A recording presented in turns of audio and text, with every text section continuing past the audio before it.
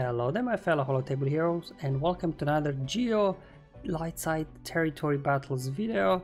So in this one uh, I'll be showing you my Mon Mothma team, I finally have it up and running. I'll show obviously the relics, the mods, just go some over quickly over the key mechanics and then I'll show you here battles from all four phases so this team very easily clears uh, all the waves in all the phases without any issues at all.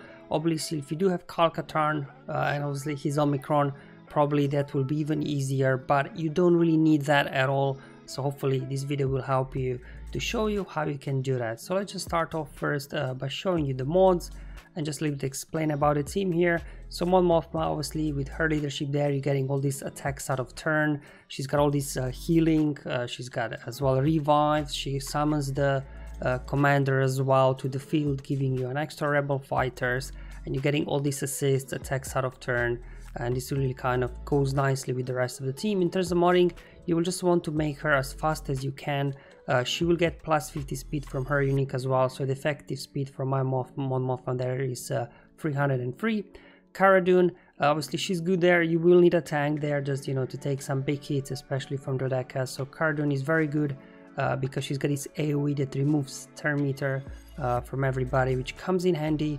Uh, same thing like from Mothma, just throw as much speed as you can here on Cara Dune so she can go in first and remove turn meter from everybody.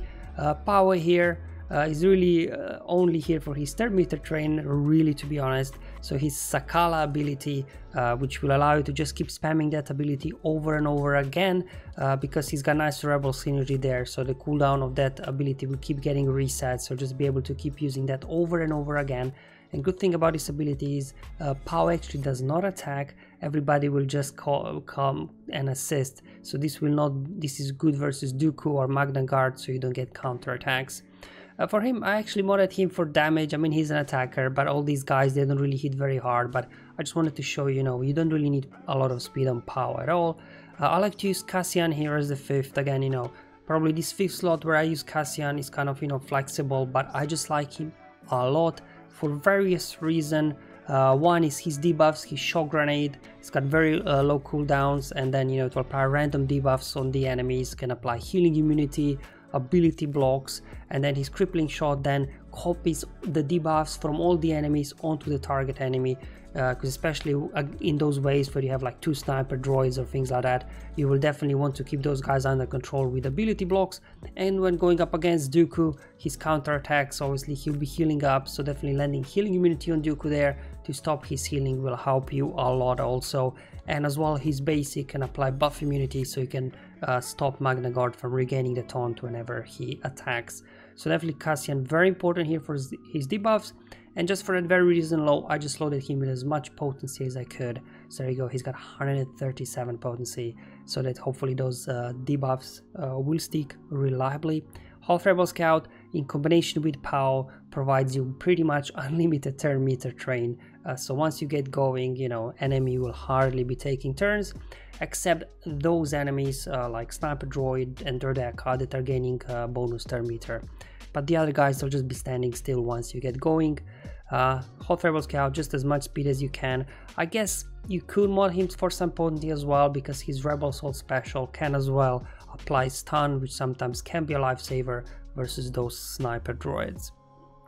Okay, this is the team, the mods, some basic things. So I just start now here, the bottom zone in phase one and run the first battle. I mean, this is a pretty straightforward one. there you go.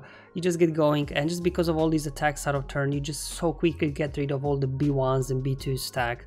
Obviously, Spy there, he's in stealth. That could a little bit pose some threat, but that's why uh, here um, Cara is very good. She can keep pushing meter back and in those cases where Spy would resist, if he one-shots Cara, doesn't matter, Mon Mothma can bring her back straight away, so no issues at all. Obviously you'll want to summon the, the, the Trooper extra Rebel Fighter with Mon Mothma, uh, so you get more attacks, and then his basic dispels buff as well, and once you upgrade him, his basic will apply daze. Again, allowing you to control these uh, enemies that counter attacks or gain bonus turn meter.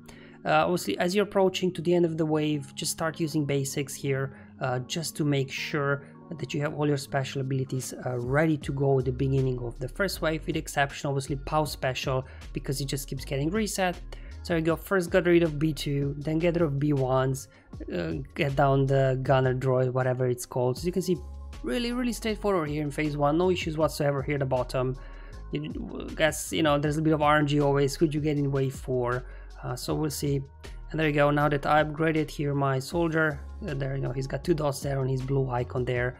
His basic will be landing daze, uh, you know, more or less reliably. So this wave here, uh, whenever you do have sniper droid, you will want to keep sniper droid under control uh, because his uh, special attack there can instantly defeat one of your guys uh, when he reaches 15 stacks of overcharge and they can't be revived. That's why whenever you have Droideka or Sniper Droid, always prioritize Sniper Droid because if Droideka knocks somebody out, um, you know, Mon Mothma can just bring them back. Uh, the Droideka will not prevent revives, whereas Sniper Droid with his special attack will. That's why you definitely want to prioritize him whenever you can. But in all these battles, I'm just speeding up the footage. They take a long time. Um, so here we got we got final waves here. So this this ser serious mechanical droid. Uh, whenever you use an AOE, uh, the enemies will take less damage and you won't be reducing any stacks. But doesn't really matter. Single fire attacks here, just taking care uh, of the guys, no issues uh, whatsoever. And obviously, once uh, tactical droid stays alive, he'll just disappear from the battles. There you go. Very easy. Phase one, phase two, into middle zone. Let's see what's waiting for us here. Okay, so this time uh, my speed wasn't enough to go first anymore. It still was enough uh, in the first phase, but second phase not anymore. Uh, here probably uh, you can start off by pushing back some turn meter, uh, going after B1s, um, not to worry about their B2, um, just get out B1, there we go. Now we can take care of B2. Uh, obviously first things first, let's summon our um, fighter here to the field because you know we'll very quickly be able to dispel this buff immunity uh, because whenever Mon Mothma Sculpt assists she will uh, dispel buffs on a random uh, ally there we go. We got ability blocks now under deck as well. B2's gone already so pretty straightforward here uh, to be honest battle. It'll take a while as mentioned before because you know rebel fighters they you know they don't hit very hard. So I guess uh, that's where uh, Kyle would help a little bit with extra damage, but you don't really need him at all. Uh, I will say that the command battle droid he's a bit annoying because even if ability block him doesn't matter, his basic still has mass daze on all, all of your guys. Uh, but it doesn't really matter. We'll quickly, uh, after a couple of turns, we should be able to get rid of daze on everybody and we'll continue our turn meter train. Uh, obviously after, you know, knockdown uh, B1, B2, Steve still working on Droideka there he's the only one that can do some big damage here. Um, so that's why, like for example, I said Cassian is good here for his ability blocks, buff immunity, and things like that. Very useful. Just keep spreading those debuffs whenever you can. Alright, come on. Droideka likes to dodge a lot. That's okay. I'll just keep pushing there. Come on, there we go. And I will prioritize Command Battle Droid just because, as I said before, he's basic can daze your whole team. Uh, but you know, once you get your turn meter train going, they most likely will not get a turn anymore anyways. Uh, but just keep pushing there. And as mentioned before, when you're getting towards the end of the wave, uh, just you know make sure that your special abilities are of cooldowns. So once you get into the following wave, they're all ready to be used. Now here we got Sniper Droid, uh, we got a B2 as well. Obviously, if I, but anyway, I just start off pushback turn meter. Now Magna didn't counterattack. If he would, he would taunt, but we will just be able to get buff immunity on him and dispel. Uh, so it's not an issue at all. Alright, we took care of B2 now. Trying to land a stun on Sniper Droid there with her Scout. It didn't land. Uh, let's just go ahead now promote um, our fighter there. So now his basic will be landing day. So Sniper Droid can no longer be gaining a bonus turn meter. Uh, but you know, it's kind of a ticking time bomb here, because mentioned before, if you do not land ability block on him, uh, once he reaches 15 stacks uh, he can just go ahead instantly defeat someone so just gonna have to keep pushing uh, now luckily I think AI is programmed as the first move even if they do have 15 stacks uh, they will not go ahead and use their uh, annihilate ability but they will uh, the sniper droids will first use their buff ability while they buff themselves up they gain protection up and offense up but you know because they're um, most likely they will already have buff immunity on them uh, from Cassian's basic, they wouldn't be able to do that anyway. So you don't have to panic too much, I think. Um, but I definitely want to go and take them out as quickly as you can. Speeding through now for the rest of the wave here, you know, no, real threat anymore, to be honest. Um, everybody's debuffed, ability blocked, dazed, buff immunity and everything. Um, so you know you don't waste time here looking at Magna Guard's slow animation of counterattacks these days. So just keep pushing again, making sure the abilities, special abilities are off cooldowns uh, for next wave. Moving into wave 3 here, uh, so this could be a little bit trickier here. Uh, we do have Sniper Droid and we do have Droideka, so let's first uh, push back turn meter with Cara.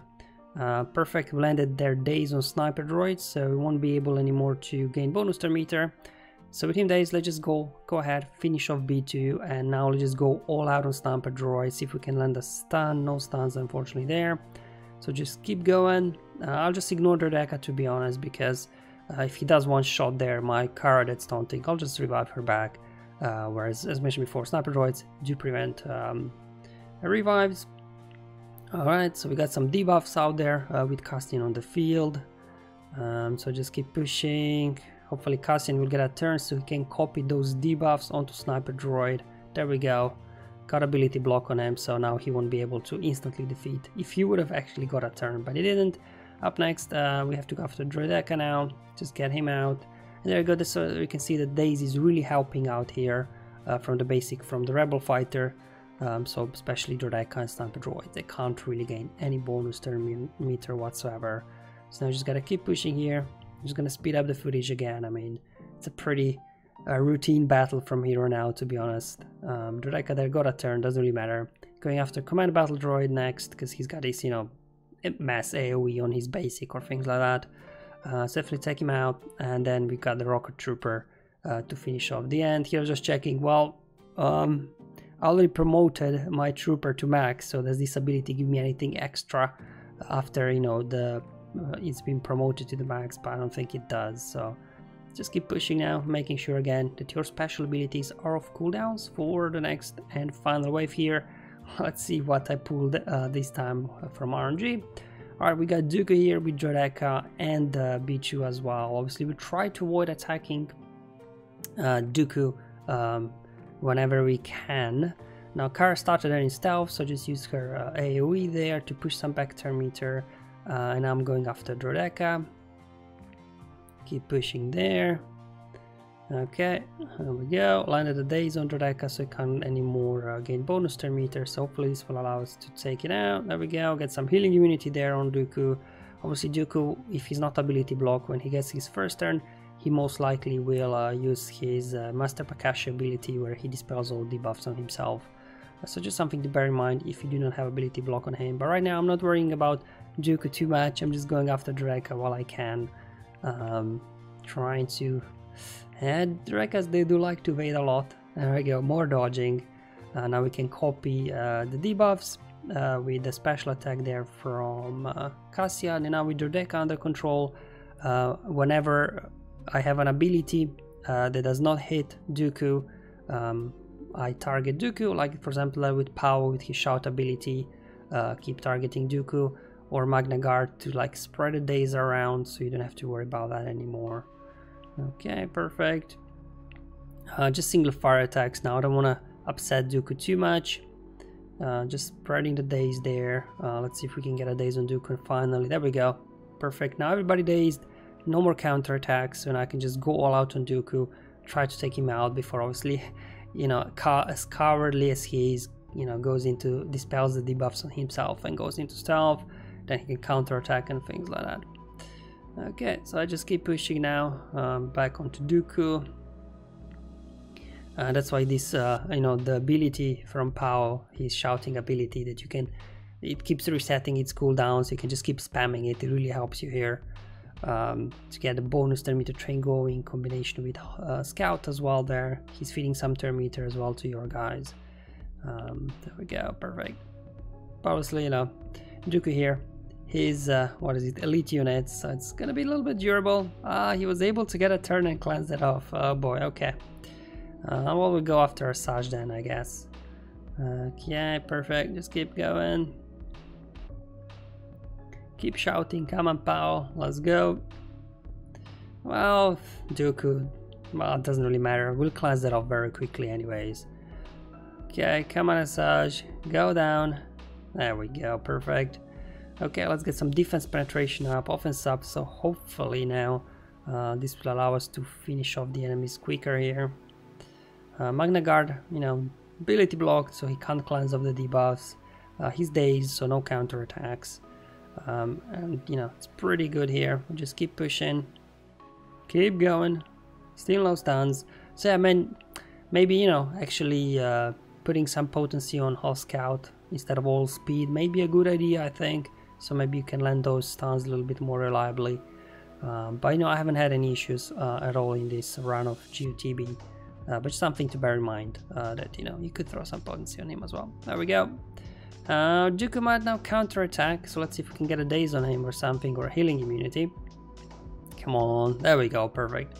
And that's why I loaded uh, there Cassian with potency, so you know he can land uh, his debuffs very reliably. So now even if, when we do get counter attacks because of the healing immunity, uh, Dooku will not be able to heal back up. So eventually we will be able to just you know finish him.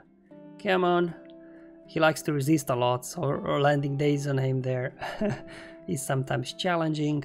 But again, that healing we need there helps us a lot. There we go. So that's all done here in phase 2. Max waves again, no issues whatsoever. So let's move on to phase 3. Again, the same team, same mods, uh, going in the middle zone. Now this is a bit tricky one, obviously we've got two sniper droids to uh, loot, take care. Uh, but first, we probably want to get rid of these B2s as quickly as we can. Okay, let's push back turn meter, targeting the other B2. Uh, let's call our trooper now. Perfect, got him out. Okay, and now we just want to go all out on these guys. Because you know if they reach 15 stacks we could be in trouble. Perfect. Got ability block on one. And we don't have to worry about that one. That's ability blocked so you can get a stun. Perfect. This time stun connected. Now with both sniper droids under control uh, we can just go ahead of uh, and finish off b1s here. All right and now we can go ahead and uh, copy all the debuffs to other sniper droids. So now both sniper droid ability blocked they can't annihilate anybody so i'm going after commander droid as well you know he can have some big hits as well on your guys I think he has an ability to cause an assist or something like that. So, you know, he could do some big damage as well. And because the other two sniper droids, ability block, doesn't matter, they've got so many stacks of overcharge, they can't use their annihilate ability anyways. Um, that's why I decided to do it that way. Just finish off one. And let's go after next sniper droid here. Uh, obviously, in the next waves, things will get easier once I promote my rebel fighter because uh, then he'll be able to daze on his basic, but in first wave you won't have that ability yet.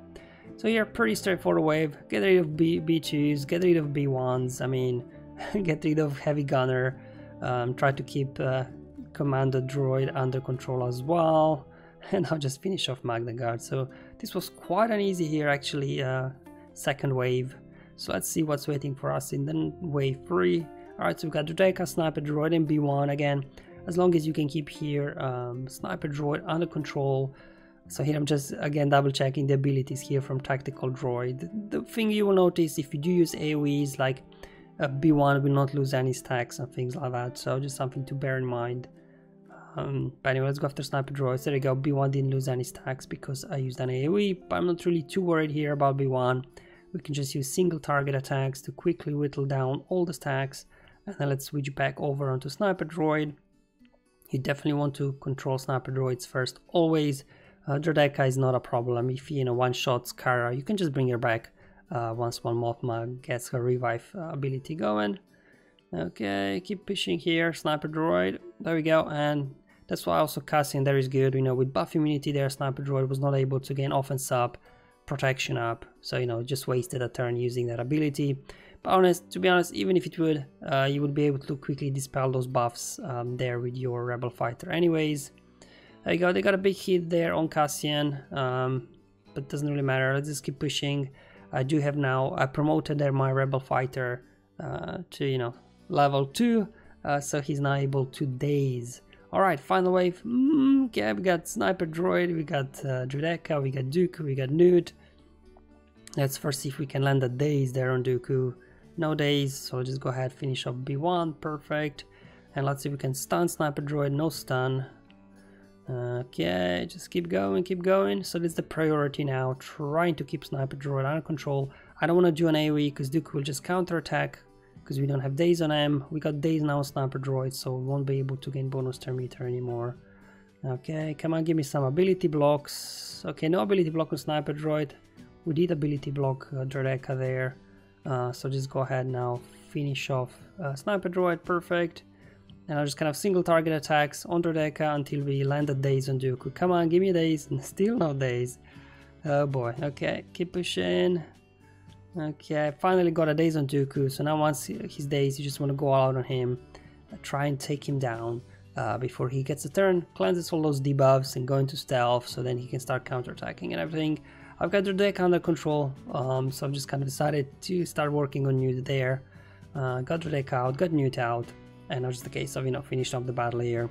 So as you can see as well, you know, phase free here, uh, no issues whatsoever. I guess there's always a little bit of RNG, what opponent you're gonna get, but uh, you know, in most cases, Mon Mothma there, you know, can keep all of these guys under control quite easily.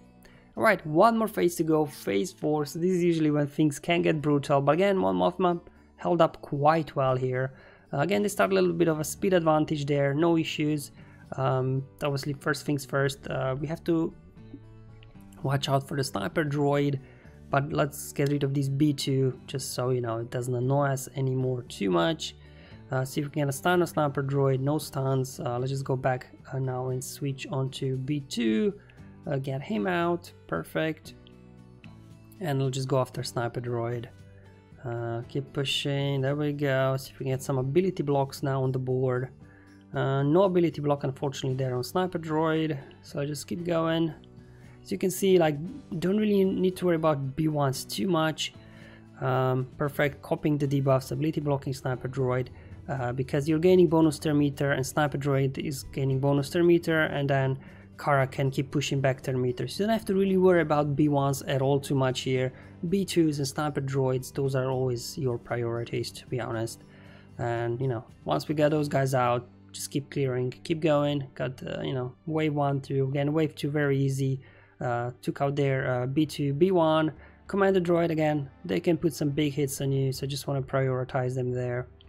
Uh, get them out. But you can see, you know, going versus enemies that are not gaining any bonus turn meter you're pretty much running circles around them once you get going because the combination of Pao and scout is just too much there. All right i just keep pushing. Wave three what we got here? We got dooku we got sniper droid as well. Uh, but you've seen this before how it works. Uh, i'm just going to uh, get rid of here uh, b2 and then we'll turn our attention over to sniper droid as long as we get some ability blocks maybe a stun no stuns here. We did get a daze on him which is great so won't be able to gain bonus turn meter anymore. Give me some ability blocks nice perfect. So now we can just quickly get rid of the sniper droid hopefully. Just keep going keep going there we go one more hit one more hit. Um, just basics attack I don't want Dooku counter attacking uh, just single uh, target attacks for now once we got it out again just spreading the daze here first on Dooku Asajj and then get getting rid of uh, B1s there and just keep pushing. Try to get Dooku out before he you know goes into stealth clears off the debuffs. There we go. Got him out. Same thing with Asajj you know just take her down quite easily. Again keeping your special abilities off cooldowns. Uh, wave 4 this was actually a surprisingly easy wave 4 um, so just keep going after Droideka there. He's the only dam damage dealer really you can land the daze there on Magna Guards. It's not counter-attacking when you use AoEs. And then you can just keep everybody here under control, stunned, doesn't really matter. I decided to go after Kalani first, uh, because with Kalani in there, you won't be able to take more than 8 stacks of B1 per turn. And once that's done, just hit auto play. And boom, there we go. Uh, as well completed 4 waves uh, in phase 4 on the Geo TB light side. So hopefully this video will show you now how to use Mon Mothma. Uh, again, don't need Kyle there. If obviously if you do have him, probably he makes things easier or at least quicker with the extra damage output from him. Uh, but you know, just running your standard Mon Mothma team lineup there, uh, there was really no issues. Obviously the core there is really Mon Mothma, Rebel Scout and Pao. This is the you know the core trio of this team. Uh, you can play around with what you've got, but obviously Cara is great with her turn meter removal, and then Cassian with his debuffs once you uh, load him with potency. You know, it's it's so easy then to control all these guys, especially you know when you do have two sniper droids on the field. Definitely an ability block on you know one and then compy on another. uh, will help you a lot uh, there to keep them under control. Alright guys, hope you find it useful and helpful, uh, showing you how I've been using uh, the small Mothma team here uh, to quite easily, without much stress, really completing, clearing all the waves in all the phases, whether it's bottom or middle. It was quite easy and straightforward. Thank you for watching guys, I'll see you in the next one, but until then have fun, enjoy your life, and may the RNG be with you my friends.